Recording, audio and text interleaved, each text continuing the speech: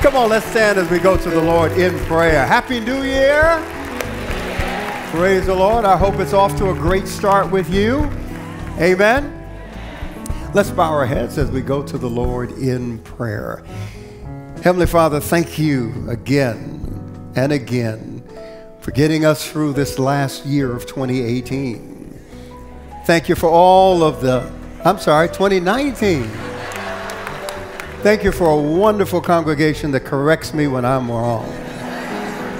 But Father, thank you for the last year, all the lessons that we learned along the way, the challenges to our faith, but also the opportunity to see you in new and profound ways, to get to know you in a deeper way. This year ahead is a year of vision. And we want to make sure that whatever vision you stir in our hearts, that we know that it's a part of a greater vision that you have for us. So, Lord, continue to stir our faith, our boldness, to imagine you in ways we never imagined, to dream big dreams, pray big prayers, because we serve a big God. So, Lord, bless us as we launch out into the deep this year and let our nets down, knowing that we're going to pull in a catch that we never imagined we'll be able to pull in. We bless you. We love you today, Lord. And we thank you for all of the good things ahead. In Jesus' name we pray. Amen and amen. Come on, three people, bless them in the name of the Lord.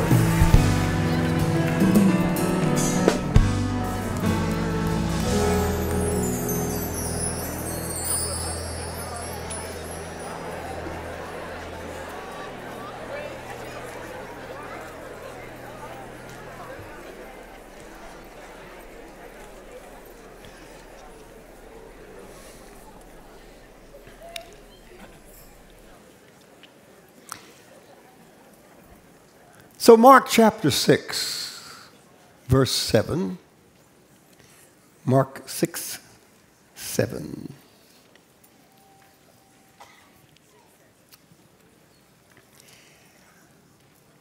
Jesus is about to send out the 12 apostles. I remember there was one case where he sent out the 70 right? He spoke to crowds of 500, and there were multitudes that could not be numbered. But here he calls the 12 and he sends them out. They're going to preach, they're going to teach, they're going to lay hands on the sick, watch them recover. So he's sending them out on a mission to represent him. The interesting thing is what he does with them right up front. So let's go to the text. And he called the twelve and began to send them out two by two. What did he do?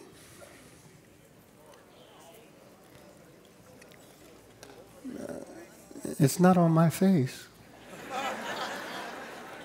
on the screen or in your device or in your Bible. What did he do? Right up front, out the gate. He called the 12 and began to send them out two by two. Right. But then what did he do? What did he give them? Authority, Authority over the hmm, why would he do that? Why would he do something like that?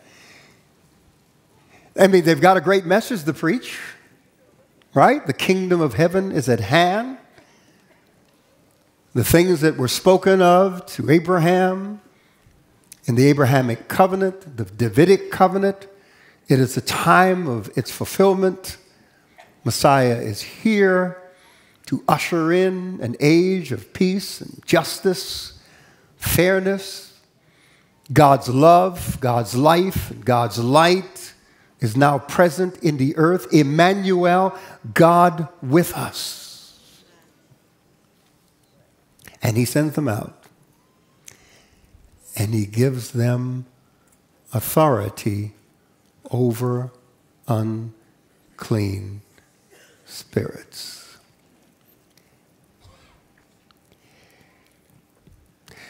I think it changed the way they looked at the world.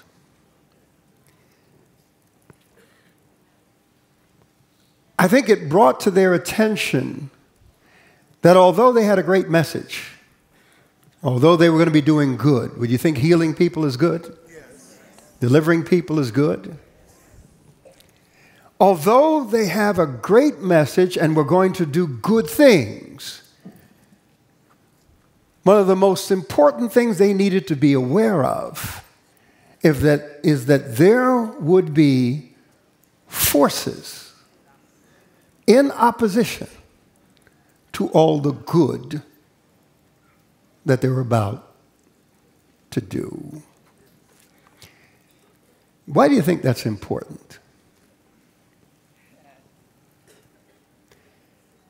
Of course, this is the benefit of sitting in the front you get to answer questions. Of course he's coming. Of course he's coming your way. Why do you think that's important? Camera's on you now. Oh, how important is that? Is it important? I mean, the Holy Spirit records it in the text so that we would have it, so that we would know how it went down, right? Am I giving you a pass? I'll be back.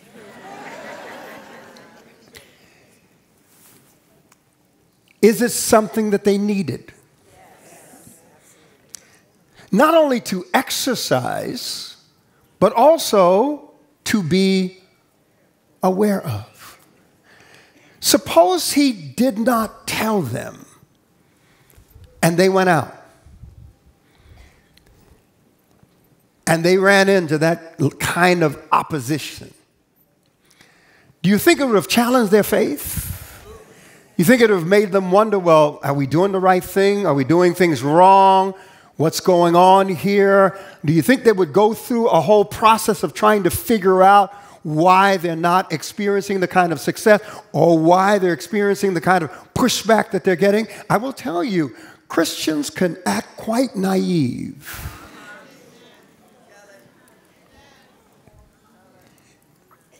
If you're a Christian, if you're a believer, and if you know the scripture at all, and you're still surprised when forces come against you while you're trying to do good and be good, you're naive. Turn your neighbor and say, He's talking about somebody you know.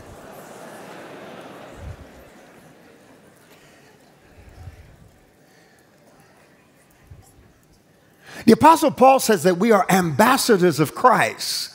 The moment we become Christians, now we become the property of God, the temple of God. His Holy Spirit indwells us, right? And we become His representatives. In the West,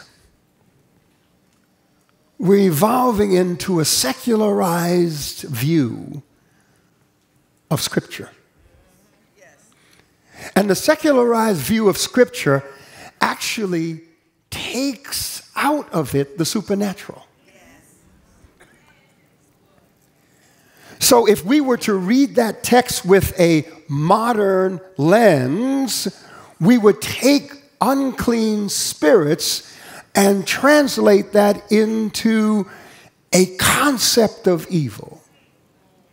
We translate it into a symbol of evil, but not real evil spirits because we don't want to talk about that.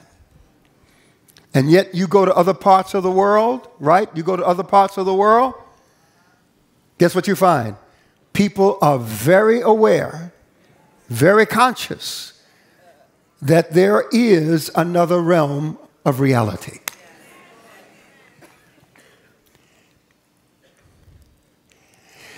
And let's put it this way God is spirit,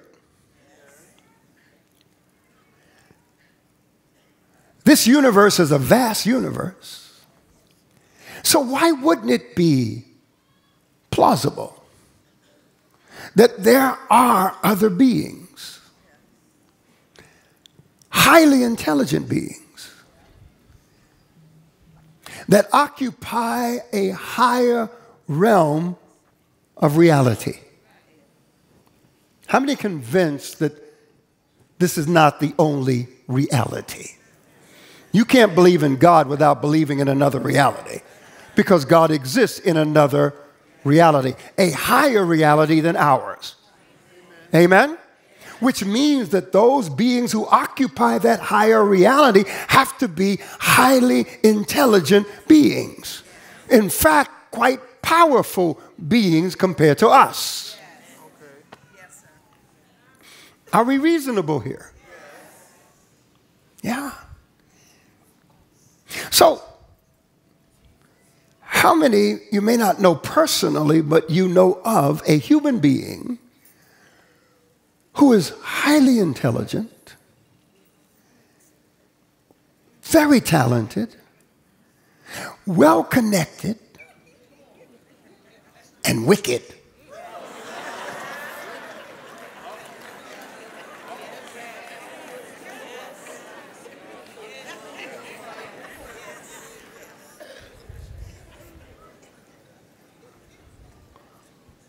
Morally compromised, in position of influence. Oh, wait, I'm not talking about any specific person here. Y'all chill out. I, know who he's talking about. No, you don't. No, you don't. No, you don't.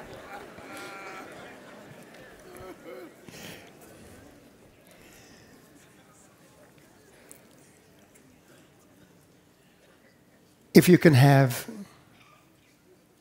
good human beings and bad human beings who are free will beings, in this reality, can you have bad and good beings in a higher reality? I will tell you, a human being with smarts, intelligence, talent, influence, power, well connected, who's wicked,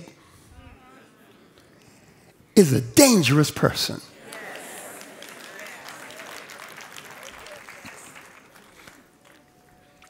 Can you imagine a divine being highly intelligent, smart, talented, well connected, influential, and yet wicked. Can you imagine? So the Bible presents to us two realities one that is visible to us, and one that is invisible to us. The Bible also presents that these two realities are connected, in that one influences the other. So, in Jesus sending out these 12 apostles and he's giving them authority, he is preparing them, He is equipping them for the other reality that they're going to face when they try to help people. You see, there's personal evil, which is individual in the choices that we make the morality and standards that we may reject. There is structural, collective, institutional evil, which is expressed in governments, institutions around the world, right? But then there's also spiritual evil. And it's spiritual evil that undergirds all the other evils. I mean, that's what I'm talking about. So he wanted his disciples to be equipped and aware for what they could not see, but they definitely would be dealing with. How about us? Does God want us equipped and prepared for what we cannot see and yet will be dealing with? You see, how, how many believe that there are fallen, morally compromised spiritual beings? How many believe that?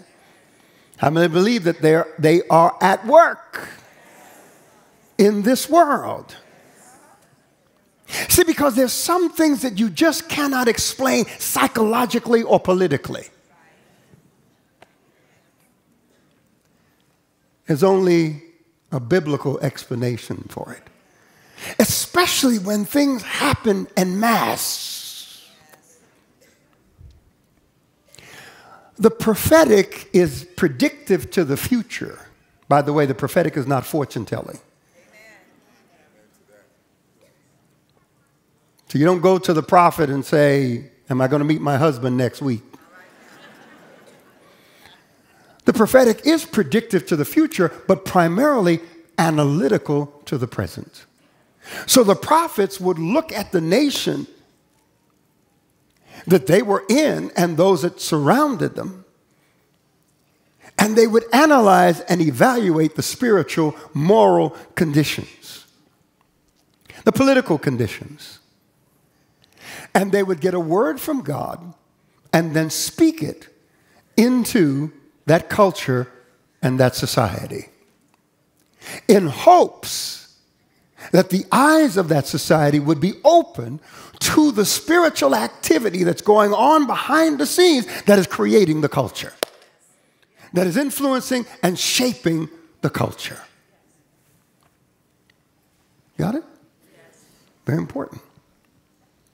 So we, as believers, with our eyes open, know that as we look at the world around us, when we look at America, we look at the, what's going on in the Middle East, when we look at what's going on in Asia, all over the place, we know that it's not just politicians at work, bankers at work.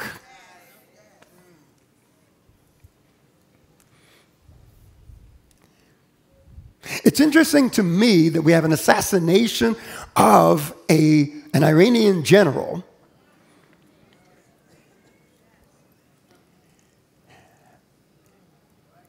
And that occupies a 24 hour news cycle. And then in the next 24 hour news cycle, we are examining the price of oil. Are you all with me here?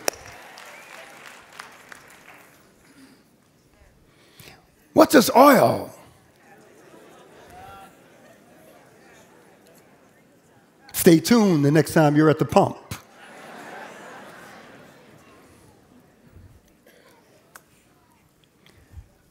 So things that are being done behind the scenes are pushing different agendas. And Jesus' disciples would encounter these things, and so would we as his disciples. It would be foolish of us as believers to think that the only intervention that the realm of spiritual beings makes in human history and human culture are people rolling around on the floor foaming at the mouth. There are very real, extraordinary things that take place. I've witnessed them. I've been involved with them, exercise authority over them, but they are not primarily how these forces work. Because it's obvious or should be obvious if someone's rolling around on the floor foaming at the mouth, something ain't right here. You don't need deep and profound discernment.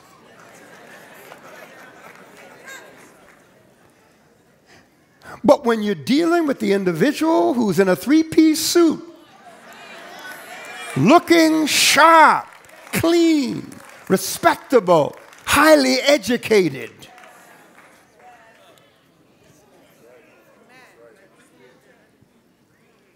and making decisions that will affect millions of people, now you really understand what's going on behind the scenes. And that's exactly how the believer should see the world. We should not be distracted by all the stuff, by all the noise. We should be able to cut through it and say, okay, what's behind that?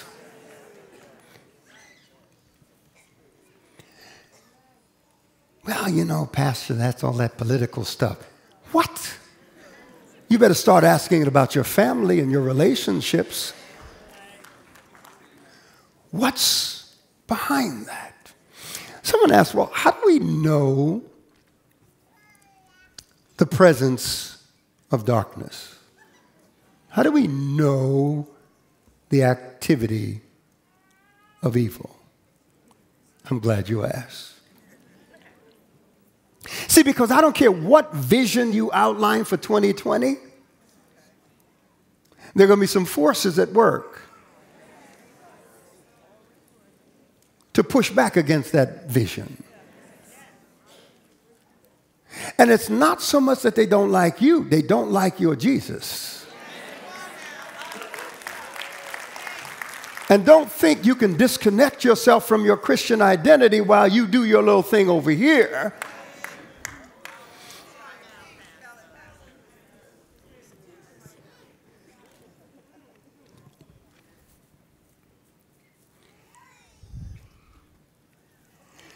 how you know the operations. How many of you in here were in the spiritual warfare class? Just raise your hand. Okay, good. I got some seasoned folks in here. You're, you're ready for this conversation. You know the operations of the enemy. You know what I'm talking about when I say the enemy? By some of the names that are given to him. See, with us, we name things very casually. Or we try to find, if we're a Christian believer, we have a child, you know, man, let's give him a biblical name. So we go through the Bible and find a name, and then we put that on the kid for the rest of his life. Let me tell you something giving your child a, a, a biblical name doesn't influence how they turn out.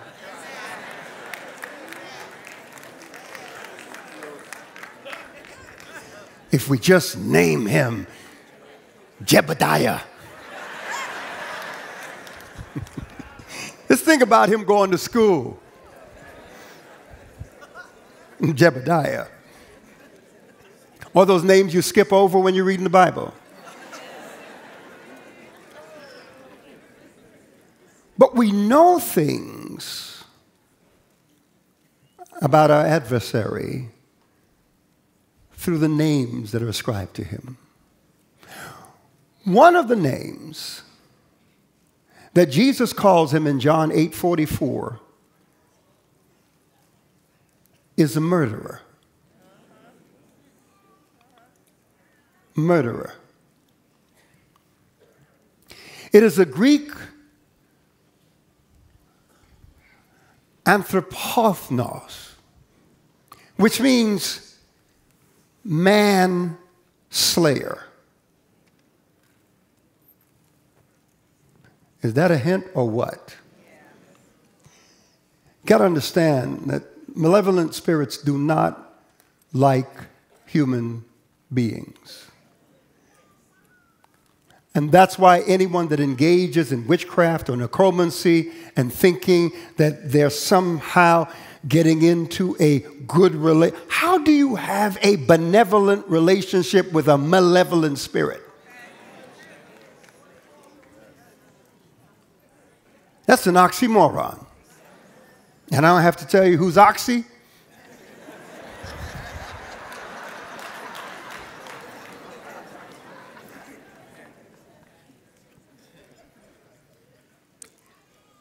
He's called a liar.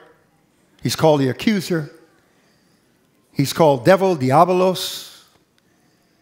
But he's also called a murderer. And Jesus said in John 8 44, he said, he was a murderer from the beginning.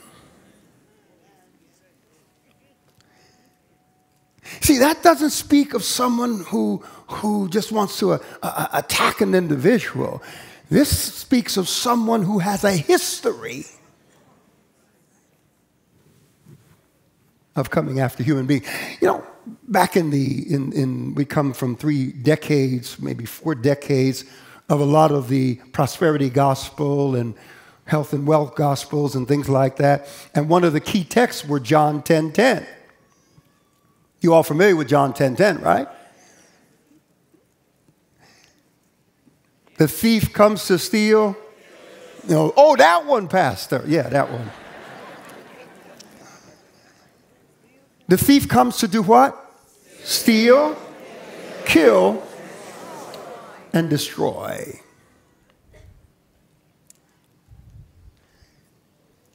Let me dig a little deeper into that. You know what it means to steal.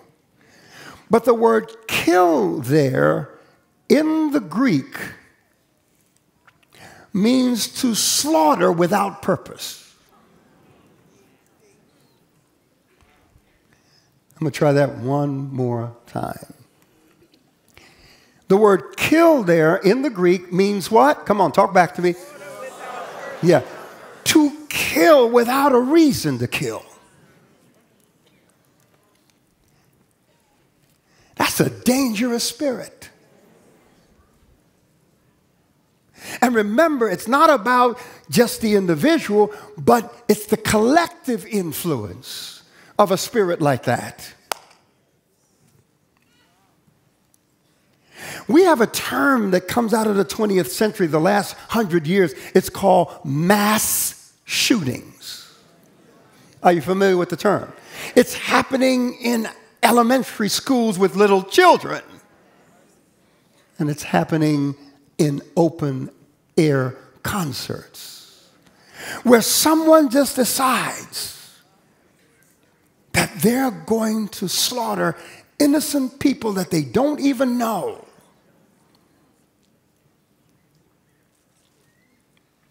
And it happens again and again and again.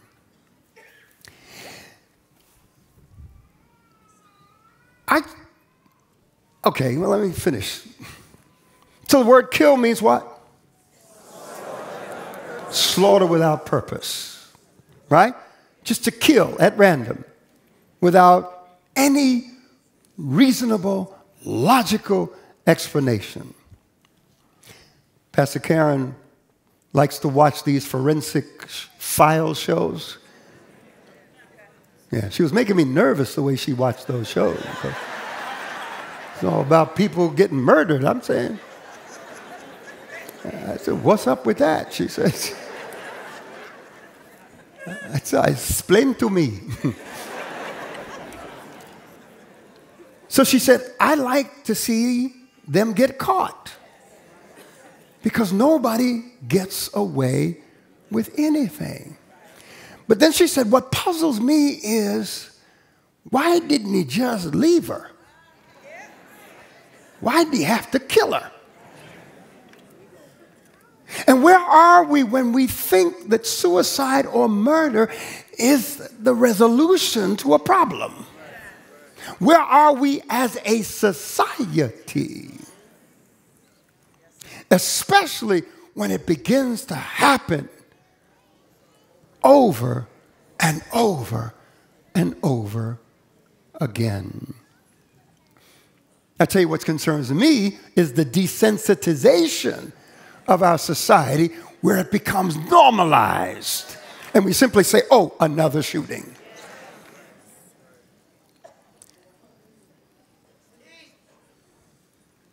It infiltrated the safe spaces of our children. And now it's infiltrating the sacred spaces of our beliefs.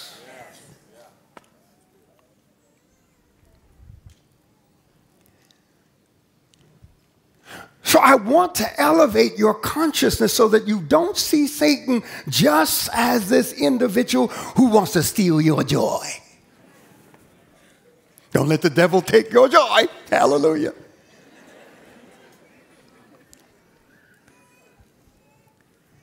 I want you to see him at work influencing society in ways that come back and affect you.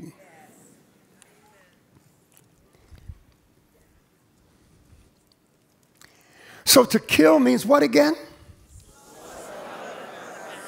Slaughter without purpose.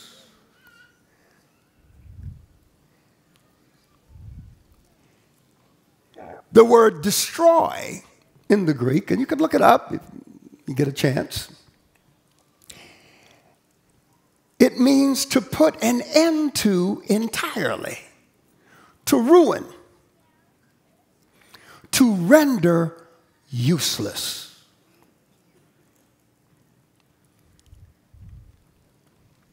Now, I hope you're taking that and applying it to yourself.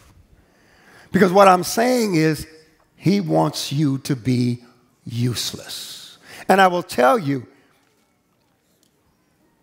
other than the rolling around and foaming at the mouth, the more subtle ways of the intervention of malevolent spirits into this realm of our humanity is to simply make suggestions in such a way that you think it's your own idea. So if I can suggest that you take yourself out and you don't recognize it's coming from an external source, you think it's you and then to be and then you begin to reason why you shouldn't be here.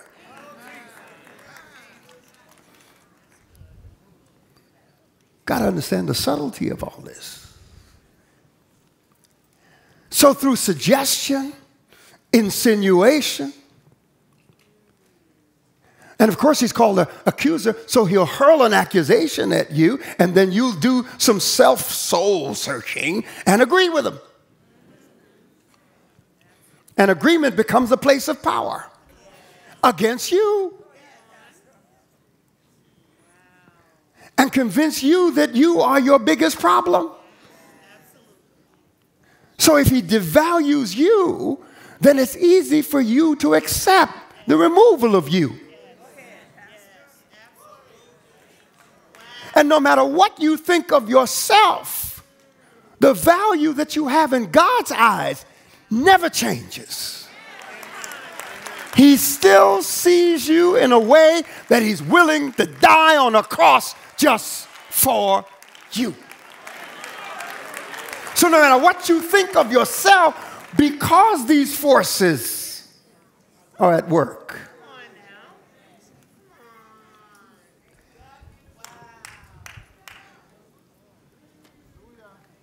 Your value in the eyes of God never changes, no matter what you do, as though you could do something that'll surprise Him.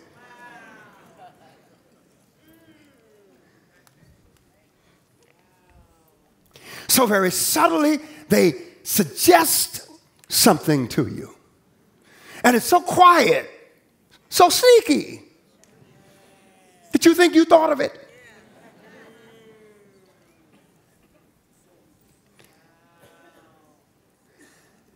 I forget, I was, I was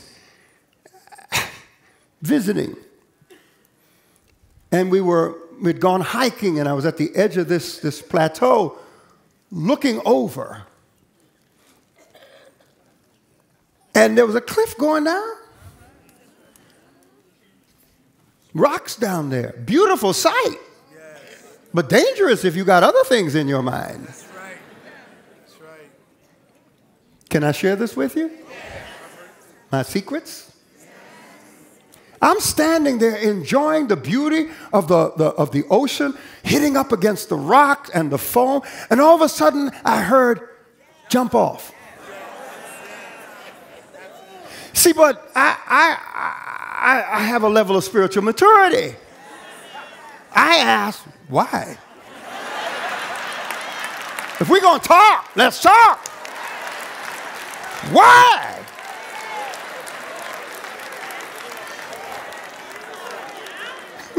so you see, we're not going to talk. Why? Why would I do that? See, but if you don't understand that this is an external source, you think it's internally you, and you start going through a reason about, oh, maybe I'm feeling to end my life, maybe I, I maybe.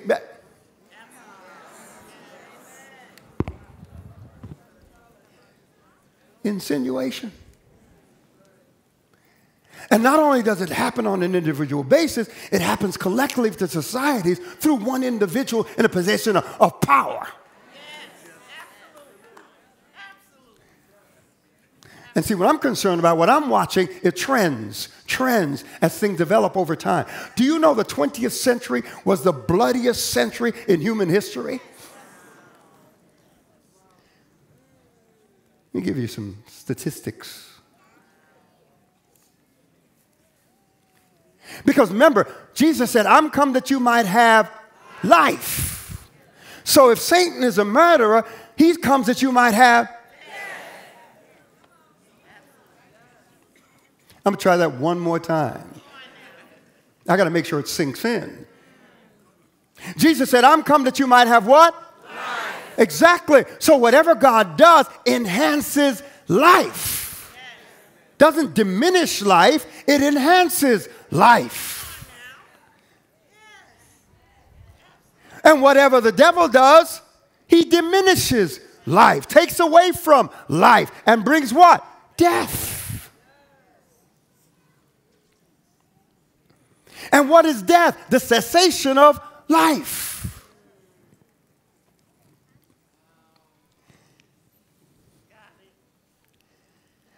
He'll bring death to your finances. Oh, wait, wait, wait, wait, wait. How many understand death to your finances puts you in a place of poverty, despair, why do you think the devil is called the desolate one? Do you know what it means to make desolate? It means to ruin you and leave you empty, barren, and dry and hopeless.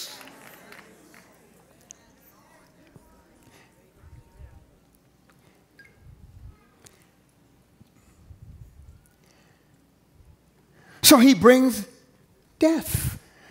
And God brings what? I am come that you might have what?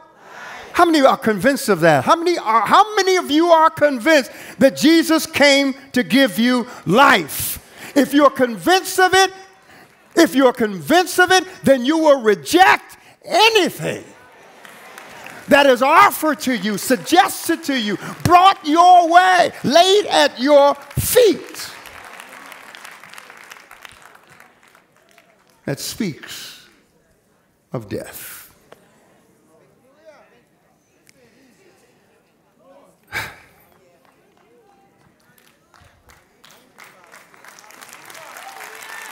Jesus came for you to live. Jesus came for you to live. I, am trying to get. Jesus came for you to live, to experience life, and experience it more what? Abundantly.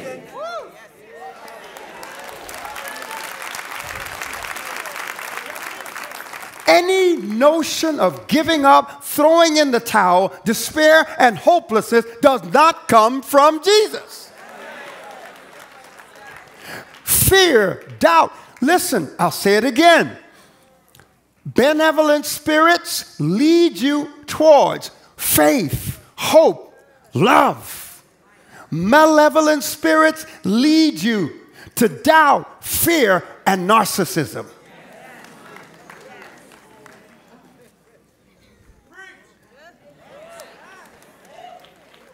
You've got to know the difference. He's a murderer.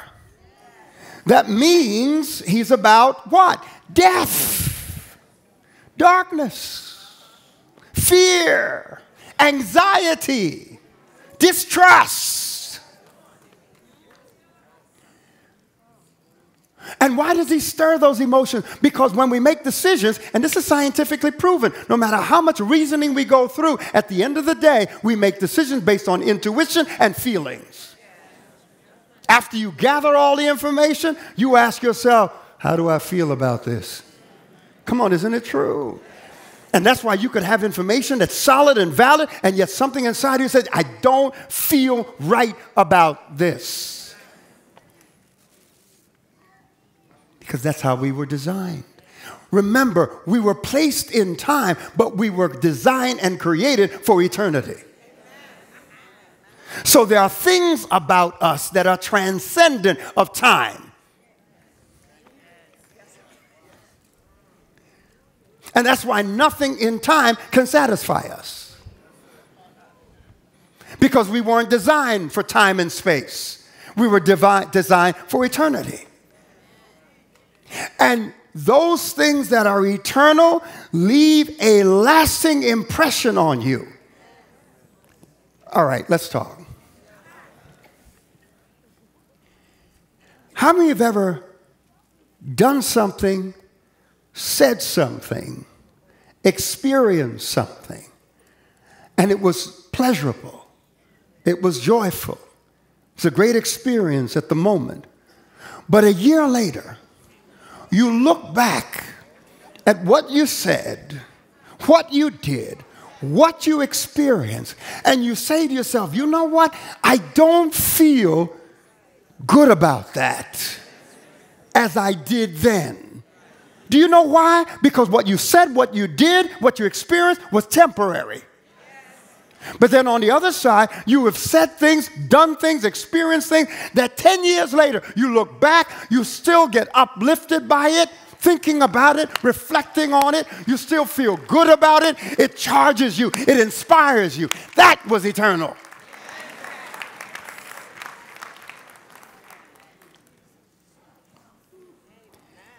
We're just taking a closer look. And I think we need to.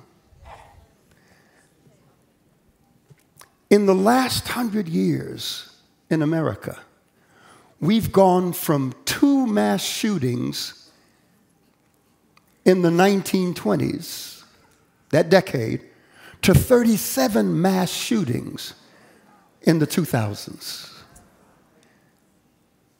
Mass shootings. And we're not even talking about war, we're talking about mass killings. I was referring, looking back, in the early part of the 20th century, 1.5 million Armenians in the Ottoman Empire, Turkey, in 1915 1916 were slaughtered. 800,000 Tutsis and moderate Hutus in Rwanda in 1994 were slaughtered. Are you hearing me? Washington Post in July of 1994 reviewed the, the, Hitler and reviewed individuals like Mao Zedong. And those of you who are young, Mao Zedong, Communist China. Millions of Christians slaughtered, slaughtered and killed. Hitler is now blamed for 12 million concentration camp deaths and at least 30 million other deaths associated with World War II, while Stalin is believed responsible for between 30 million and 40 million unnatural deaths, including millions from a famine that he created. Mao Zedong in communist China, while most scholars are reluctant to, to put out numbers, all right, but the best evidence shows that he is responsible for at least 40 million deaths and perhaps 80 million more indirectly, which includes deaths that were the result of disastrous policies that he refused to change. Mass killings in Rwanda, mass killings in Cambodia, Darfur, southern Sudan, mass shootings in America. From 1973 to the present in America, 60 60 million babies were aborted. Globally, from 1980 to now, 1.5 billion babies were aborted.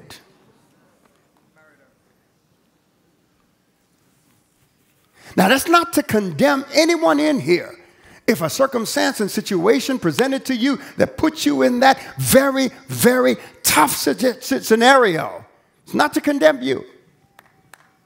But what it is, is to express that in the last hundred years, we've moved decidedly from a culture of life to a culture of death.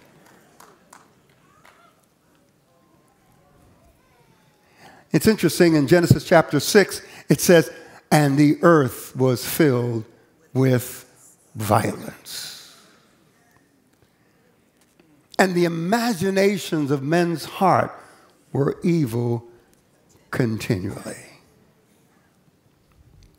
These are patterns, these are movements.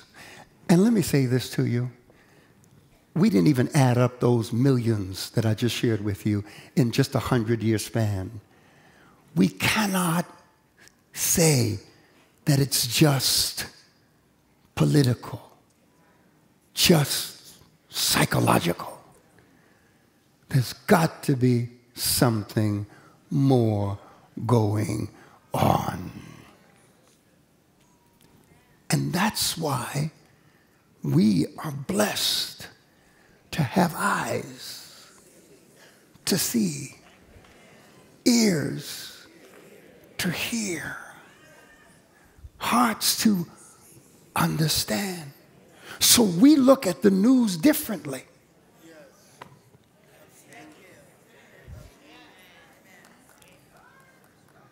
because we know that there are forces at work fashioning and shaping what's going on in human society.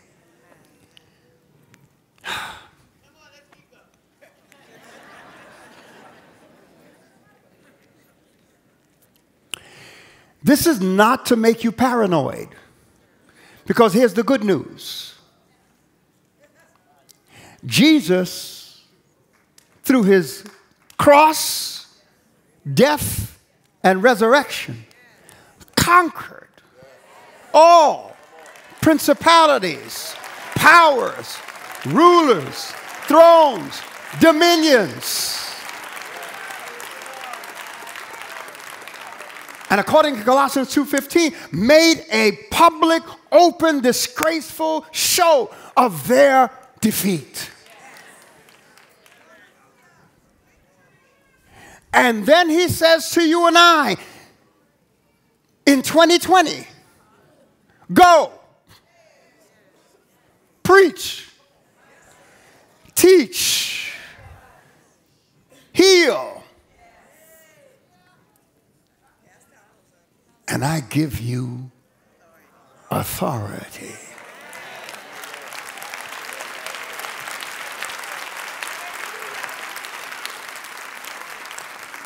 You know what it is to have a key to a lock that opens a door and the key is sitting in your pocket and you're standing outside the locked door screaming and complaining and blaming everybody?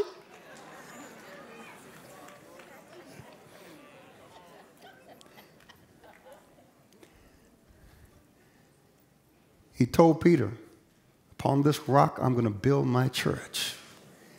I give you the keys to the kingdom. What is the kingdom of God? It's righteousness, joy, peace, power, made real and tangible by the presence of the Holy Spirit. Faith unlocks the kingdom's power. And the reason the children of Israel failed in the wilderness because they would not mix what they heard with faith. And as a result, they failed to enter the promised land. Vision is your picture of a preferred future. There is a future that the devil prefers for you. Which future are you going to choose?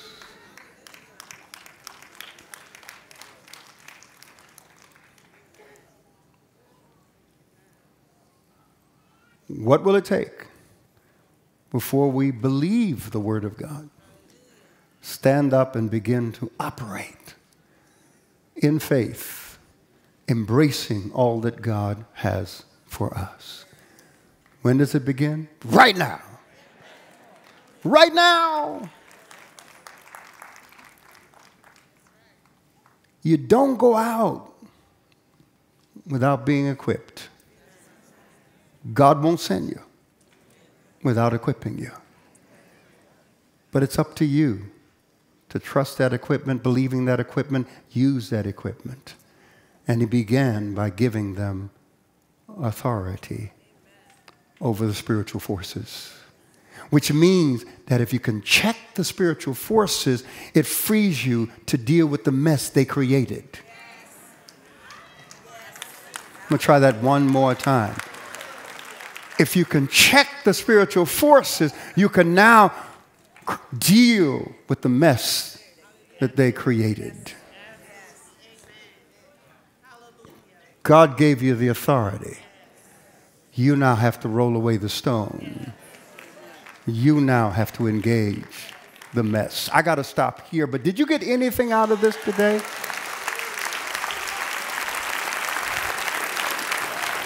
Only thing missing behind me is a fireplace. So I hope you appreciate this fireside chat. We're going to have more of them because I want you guys sharp. I want the demonic realm to see you come in and say, ah. Is that all right with you? Now, think about this. When he sent those men out, they had no seminary training. They didn't have any special degrees. They didn't have any power and influence. They didn't have any position. You want me to go down the list of what they didn't have? Because the devil will get you to focus on what you don't. And I'm trying to get you to focus on what you do have. And what do you have?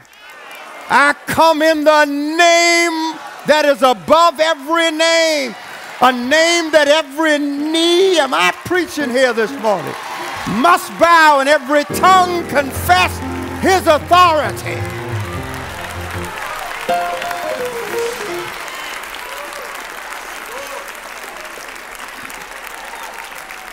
Come on, let's all stand.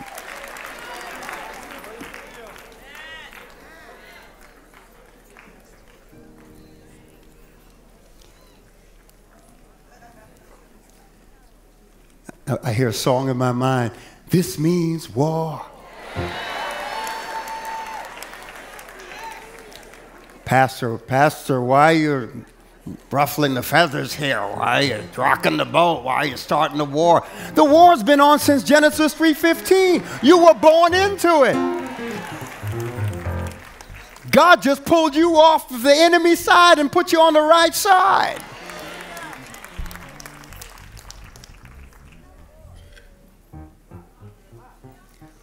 Whatsoever is born of God overcomes the world. And this is the victory that overcomes the world our faith. Amen. Let's bow our heads. Heavenly Father, may we rise up. May we be stirred by the Prince of Life.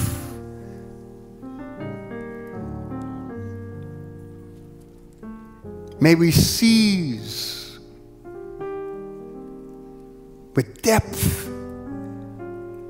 in our hearts the authority that you've placed in our lives.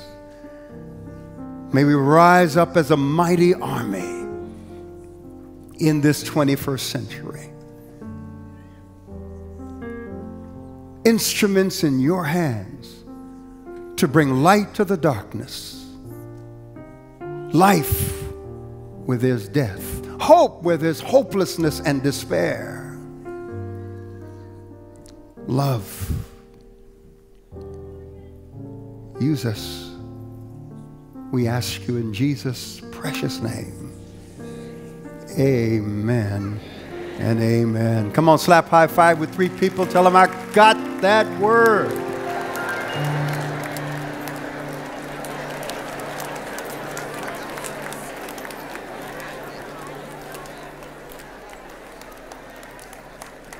Listen, nuclear weapons, all of the tension, this is death that we're dealing with globally. Death of relationships. I thought it was interesting that all the reports you hear over the last 10 years is how many people are leaving church. It makes sense that the devil will try to get them out of the place where they're going to be nurtured and their eyes are going to be open and they're going to be given authority and understanding. It makes sense because then he could do what he wants with the society and they'll be blinded to it. This is the place. This is the source. This is where we need to be. Amen. Come on, let's give God a good hand clap offering for his word today. If you were blessed,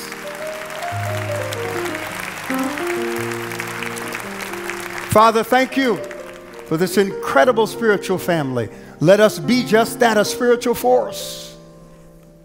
Father, help us get our house in order so we're not distracted. And we can be a sharpened instrument in your hands. We ask you and we thank you. In Jesus' precious name. Amen and amen. Come on, let's say something good as leave this place, but never God's presence. Jesus is Lord, period. We believe it, we proclaim it, and we're seeing it come to pass. God bless you. I love you, family. Have a wonderful week in the Lord.